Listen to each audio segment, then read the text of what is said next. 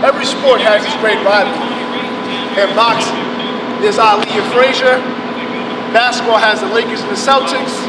And baseball has probably the most famous one of them all, between the Boston Red Sox and the New York Yankees. But what about here in the MEAC? It pits the state of Virginia. Better yet, it pits our Norfolk State Spartans and that school on the other side of the water, the Prideful Pirates in Hampton University. The Mid-Eastern Atlantic Conference is home to one of the biggest rivalries in the Hampton Roads between the Norfolk State Spartans and the Hampton University Pirates. The rivalry between these two historically black colleges has been built as the Battle of the Bay. This rivalry has been going on for many years. It's good for both institutions. I think it's good for the conference, and I think it's good for our cities.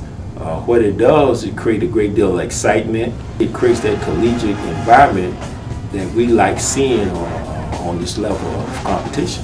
The rivalry between Norfolk State University and Hampton University is intense, electrifying, and exciting. I don't know why, why the two schools go at it like the way they do, but when they hit that court, when they hit that field, it's war.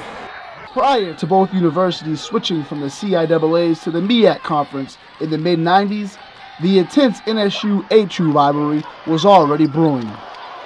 Although no one seems to know exactly how the rivalry started, it is assumed that the 16 mile distance between the two schools is what generates one of the most electrifying atmospheres when they battle for the bragging rights of Hampton Roads.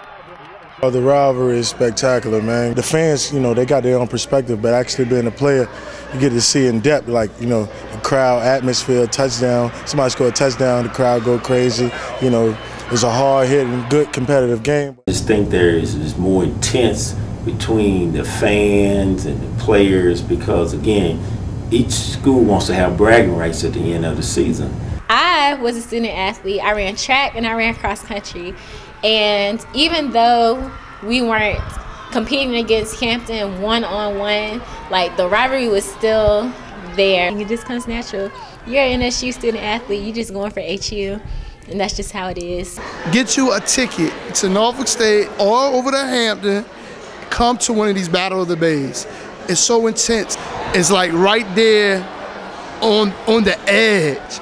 Norfolk State plays Hampton University in every sport with the exception of baseball.